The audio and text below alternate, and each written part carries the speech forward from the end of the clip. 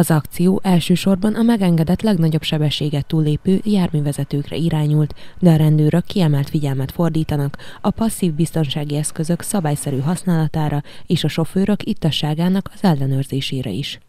A mai napon zajlik Magyarország egész területén az Európai Uniós Közlekedés Biztonsági Szervezet a Roadcall által meghirdetett 24 órás sebességellenőrzés, a Speed Marathon, Gyakorlatilag ennek keretében 24 órán keresztül üzemeltetjük az összes rendelkezésre álló sebességmérő eszközünket.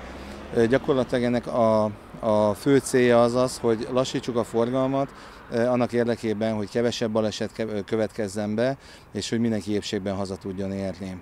Azt kell elmondjam, és, és, ez, még egy, és, és ez egy nagyon fontos dolog, hogy, hogy a baleseti okok, okokat szemlélve Gyakorlatilag 7 sérüléses balesetből ötnek az oka a sebesség helytelen megválasztása.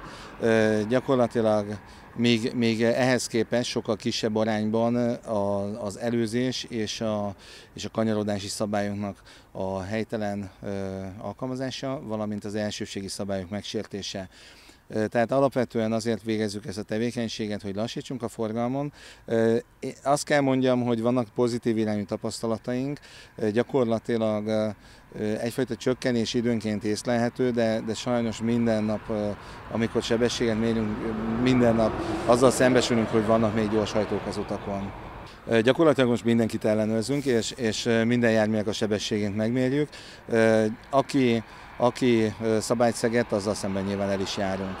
Hogyha valakit sebesség túlépésen élünk tetten, kétfajta eljárás típus alkalmazható, vagy szabálysértési eljárás, vagy közigazgatási eljárás. Ez mindig attól függ, hogy, hogy milyen mértékkel lépte túl a megengedett sebességet. A szabálysértési eljárás esetén általában helyszínbírsággal zárjuk az eljárást, de lehet akár szabálysértési feljelentés is.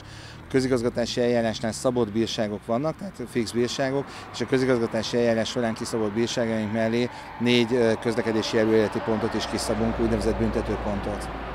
Az akció célja a közlekedés biztonság javítása, a közúti közlekedési balesetek csökkentése, megelőzése. A szerencsérendőr kapitányság munkatársai kérik a közlekedésben résztvevőket, hogy mindig fokozott óvatossággal és körültekintéssel közlekedjenek a forgalomban.